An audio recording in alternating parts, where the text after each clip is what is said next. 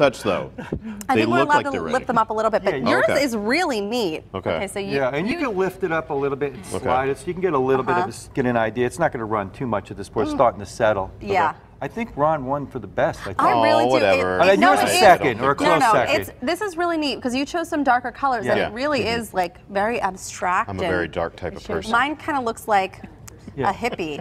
In case you, know, want to give up that looks day job, Ron. Yeah. You know, you can stop painting. Yeah. I love and I love the two on the end that you guys brought. Yeah, as- this one has a little more metallic. You can mm-hmm. kind of Yeah. see where it shines. Yeah, and so these you said have to sit for Yeah, about two, two days, and then if you wanted varnish, we would varnish them for you. You can come back and they would be protected and, Okay. and you're fine and all that kind of stuff.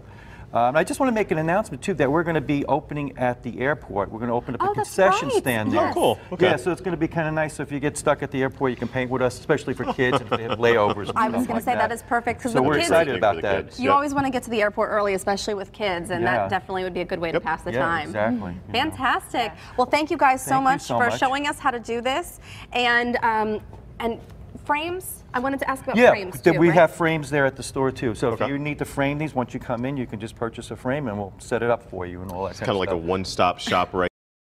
Should, uh, what about when people come in? Do they need to schedule appointments, Right. or how does that work? Yeah, our classes are scheduled for this. It's Yeah. kind of a workshop. We all get in and we kind of lead you through it step by step. I know Mary Lou wants to say something. She's I know.